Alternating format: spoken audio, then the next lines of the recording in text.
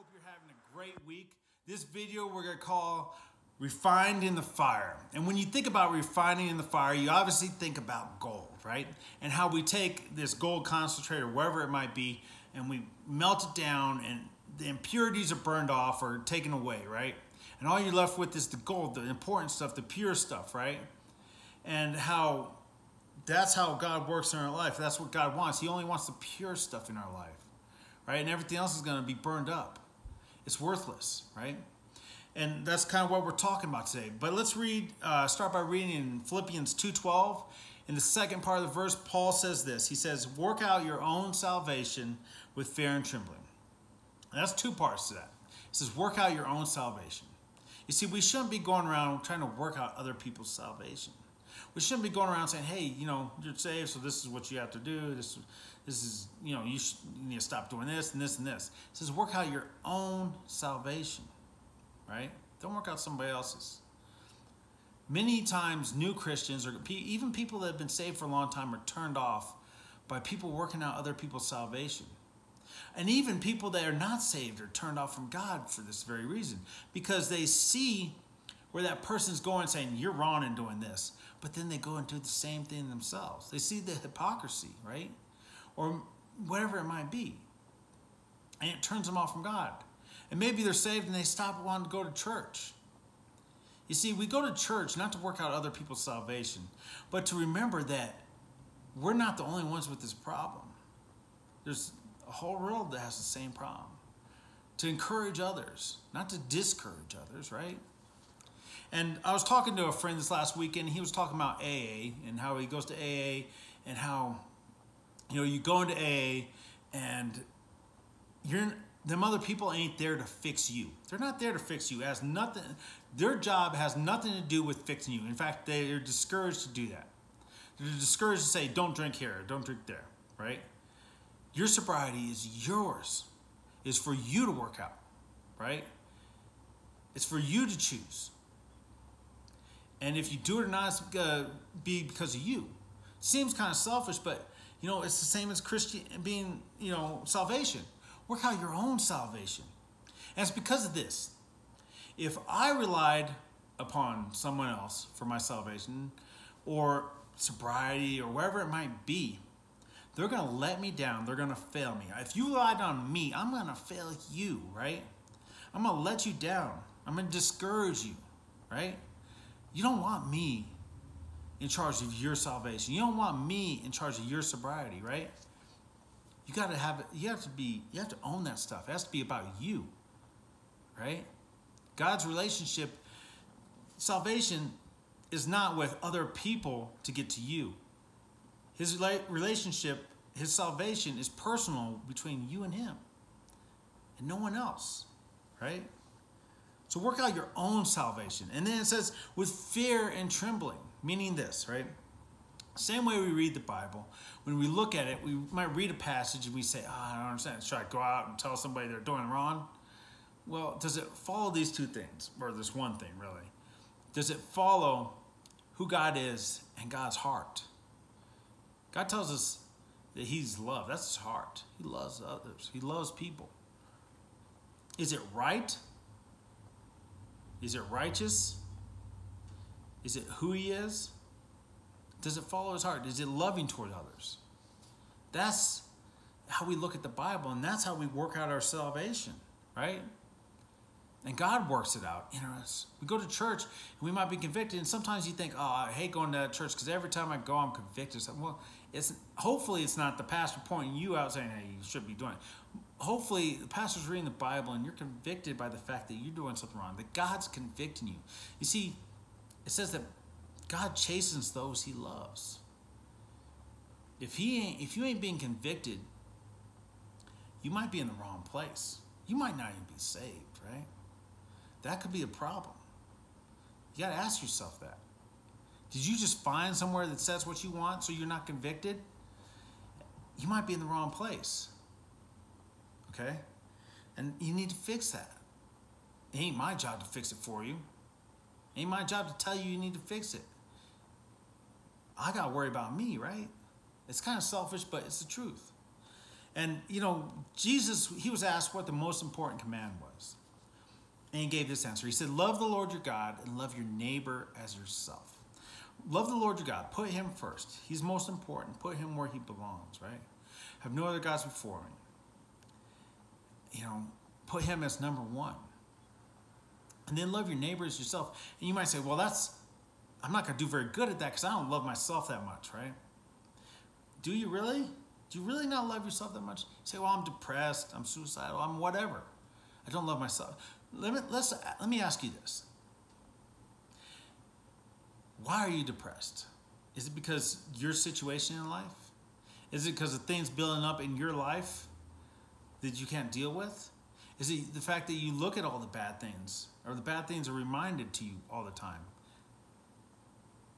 about your life? See, it's not about other people that you're depressed. It's about your situation, your life.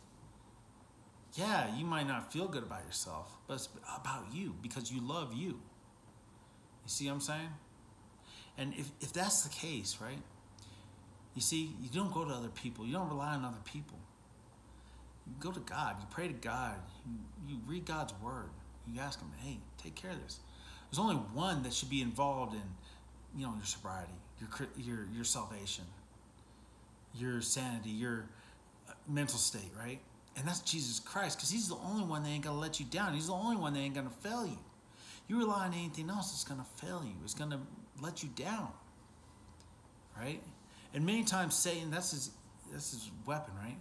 He puts these things and just keeps on putting these memories in your mind of bad things. And he makes it so you can't even see the good. But God has so much good for you, right? You got to put your eyes on Him. When Peter stepped out of the boat, he started sinking when he took his eyes off Jesus. And that's how we are too. If you're depressed, I'm not saying it's easily controllable when it comes, but your reaction, hopefully, is that you go to Jesus every time. And it might come a lot. You might have to read a lot of scripture. You might have to pray a lot but he's able to heal. I know he is. He's able to heal this disease or whatever you, it might be, right? He's able to fix it. But he might not do it the first time. He might not do it the second time. But trust me, he's faithful to do it. Let's read, um, go on and read another scripture. It's 1 Corinthians 3 11 through 15. It says, For no other foundation can anyone lay than that which is laid, which is Christ, or which is Jesus Christ. Now, if anyone builds on this foundation with gold, silver, precious stones, wood, hay, straw, each one's works will become clear, for the day will declare it, because it will be revealed by fire, and the fire will test each one's works, of what sort it is. If anyone's work which he has built on it endures, if anyone's work which he has built on it endures, he will receive a reward. If anyone's work is burned, he will suffer loss, but he himself will be saved, yet so as though as through fire. And so we look at this and we say, okay, there's only one foundation to build on. Truly, there's only two places you can build. You can build on Jesus Christ or you can build on the other right? There's no, there's two options. Build on Jesus Christ or build on whatever you're building on, right? That thing that's going to let you down, the thing that's going to fail. And then it says some build with gold, silver, precious stones, wood, hay, straw. What are you building with? Are you building with gold? Are you building with pure stuff? Or are you building with like hay and straw? Maybe you got an igloo, right? Is it going to survive the fire? It probably won't, right? And what are we talking about? We're talking about what is your reasoning for doing what you're doing? What is your reasoning for coming to God? Is it because you just don't want to go to hell? Or is it because you want a relationship with Jesus Christ? See, that's pure. If you just don't want to go to hell, but you want nothing to do with Jesus, I'm sorry, but you're not saved. It's about a relationship with Jesus Christ, believing on Him, believing on Him, putting your faith in Him, right? It's a relationship. right? And then what do you do after that? Do you go out and be nice to people because you want to be seen and you want to be praised as being holy and right? Or you do it because God lives inside you and because you love Him, right? Do you do it from a pure place where it's about Jesus? It has nothing to do with you. That's what they're talking about. When the day comes, it's going to be tested with fire. And then things you did for yourself, they're going to be burned up. And all that's going to remain is the things that were pure. But it says one more thing here. It says, well, first it says, um, the fire will test each one's work, right? If endures, it will he will receive a reward. But if anyone's work is burned, meaning there's nothing left but the foundation, all the building is gone. All that's left is the foundation because the foundation ain't going nowhere if it's on Jesus Christ. If all that's left is foundation, he will suffer loss of the building. He won't get no reward for it. It will mean nothing. It won't be there no more. It'll be impure. It'll be gone. It was worthless. But he himself will be saved. You see, our salvation is not relying upon our works and what's behind our works. It's only relying on did we choose Jesus Christ or not? Did we build on Jesus Christ or we build on something else? Did we build on a want just not to go to hell? Do we build on I got to be a Christian to be married to this person? Do we build on my parents were Christians? You see them things? Them things are to burn up because they're they're not pure. They're not even true. And then whatever you build, if you build it pure, it will remain. But if you build it out of a, I just want to look good, it's to get burned up. And in the end, we'll either have a house or maybe even just a corner post. I don't know. Maybe a, a back porch. That's it. Maybe just, you know, bathroom, a toilet in the middle of nothing. Maybe that's all that's left. But as long as it's on that foundation of Jesus Christ and His grace in our life, we will be saved. We will, will spend eternity with Jesus. You see, it's by what He did on the cross that we're saved, not by what we do in any way. That's why we have to work out our own salvation. That's why we don't go work out other people's salvation. Because then we put a burden on them where it, it becomes like, well, if you're not doing this, you're not saved. That's not true. Your salvation is reliant on Jesus Christ alone and what he did. Has truly, when God made the covenant with Abraham, he put Abraham asleep and then made the covenant with himself. Right? Meaning it was going to be kept no matter what Abraham did. Abraham didn't have to keep the covenant at that point. Only God did. And see, if you put your faith in God, you might not keep the rest of that. You know, you might live your life terrible. But as long as your faith is in God, you'll spend eternity with Him. You'll be saved. But what kind of life would you have? It'd be easy to be depressed. It'd be easy to be all these other things. God wants a full life for you. He wants you to build with pure gold, right? Something that will resist, resist the fire, that will remain. That's what He wants for you. He wants the best for you.